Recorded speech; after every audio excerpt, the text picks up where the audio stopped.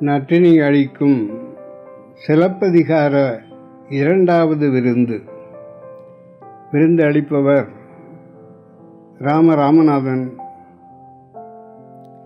பூமிதனில் எங்குமே காண முடியாத அறிஞர் இளங்கோவடிகள் என்பது மகாகவி பாரதியாரின் கணிப்பு. கிபி இரண்டாம் நூற்றாண்டு என்று கருதப்படும் தமிழின் தமிழனின் முதல் காப்பியத்தினை நமக்கு எடுத்து தந்த பெருமை மகாவித்வான் ஊவே சாமிநாத ஐயரைத்தான் சாரும். அப்படி என்ன அருமை உள்ள காப்பியம் என்பதை நமக்கு எளிய நடையில் சுருக்கமாக விளக்கி நம்மை புரிய வைக்கின்ற வைப்பதுதான் சுவாமிநாத ஐயரின் நோக்கம். சிலப்பதிகார கதை இளங்கோவடிகள் காலத்திய மக்களின் நடுவில் பெரிதும் வழங்கப்பட்ட கதையாக இருந்திருக்க வேண்டும்.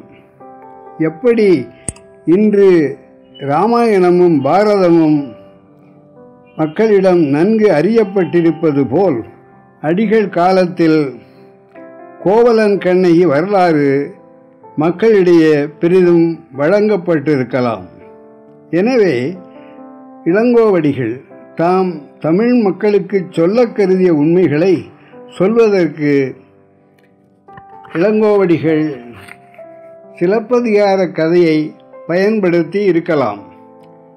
சிலப்பதிகார கதை ஒரு கருவியாக மட்டுமே பயன்பட்டிருக்கிறது என்ற தெளிவான உண்மையை நாம் உணர்ந்து கொள்ள வேண்டும்.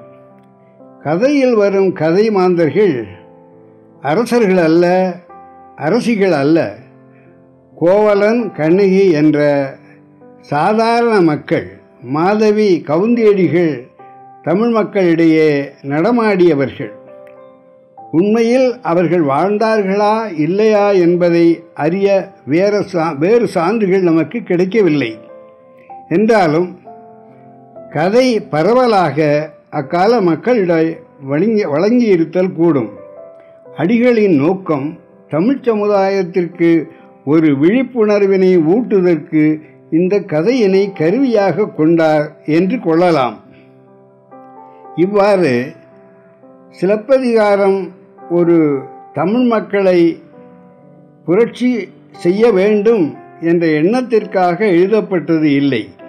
அதனுடைய நோக்கம் தமிழ் மக்கள் தமிழ் பண்பாட்டினை மறந்துவிடாமல் போற்றி பாதுகாப்பதற்கு அந்த கதையை இளங்கோவடிகள் பயன்படுத்தி இருக்கிறார் என்று சொல்லலாம்.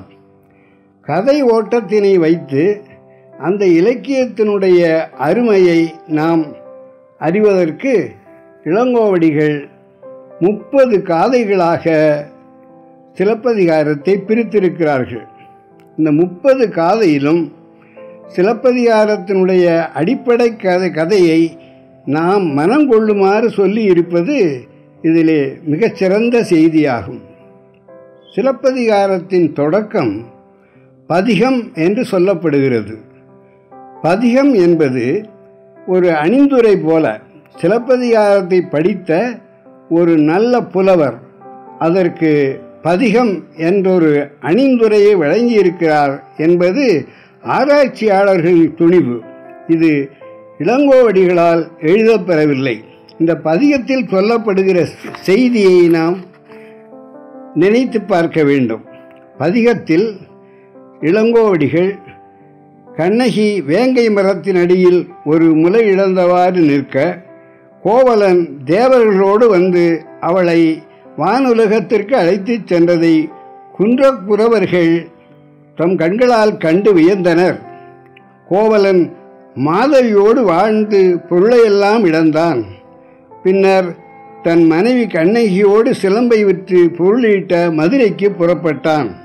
மதுரையில் பொற்கொல் பொற்கொல்லன் ஒருவனால் கல்வன் என்று காவலரால் கொல்லப்பட்டான். கண்ணகி தன் மார்பகத்தை திருகி மதுரையை எரித்தாள்.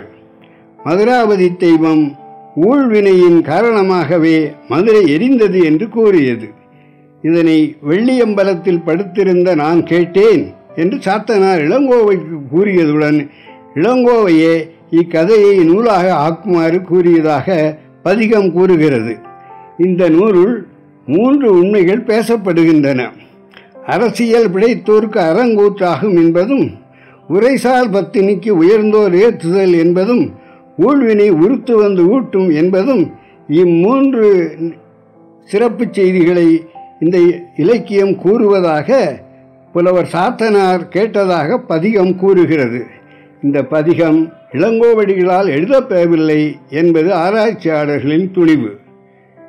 இனி அடுத்து மங்கள வாழ்த்து பாடல் என்ற முதல் கதையை நாளை காண்போம்.